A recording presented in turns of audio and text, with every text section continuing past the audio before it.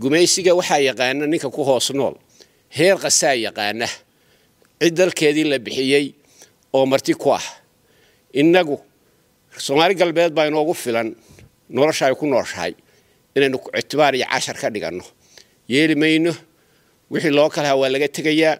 Dalka iyo dadka iyo badda iyo berrigana waa loo midoobayaa in la difaaco.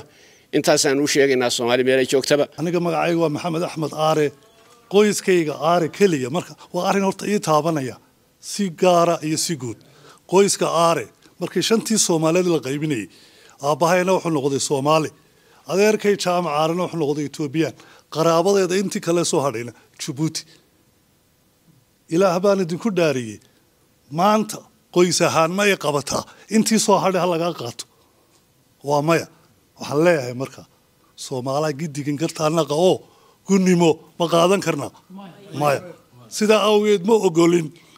Taaka ka mida hal mitir oo ka mida dhulka soomaaliyeed. In la qaato. Haddii la qaato taasi waxay ka dhigan tahay. Gebi ahaan baddii soomaaliyeed iyo dhulkii soomaaliyeed intii soo hadhay oo lala wareegay taasi waa gundhiga doodayda. Waxaa la yidhi labo waxay ku fiican yihiin in la yska ilaaliyo.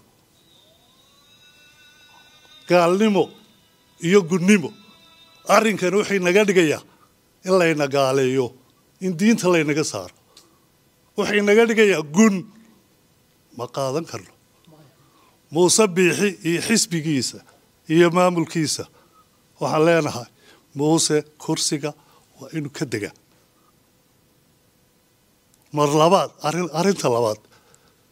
Labada aqal ee somalilan ka jira iyo shacabka somalilan hadduu ka degi waayo waa inay ku sameeyaan impeachment. Laga xayuubiya xilka. Waa nin khaa'imay waddankii.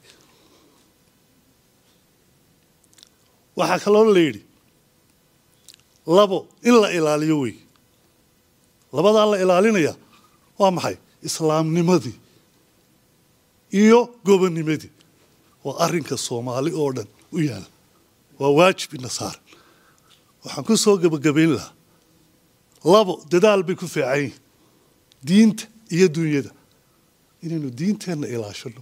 Duunyada inoo taallaa inaga badan. Waxaan rajaynayaa maanta arrinkaas inuu noqdo arrinkii ina midayn lahaa. Shantii soomaaliyeedna soo celin lahaa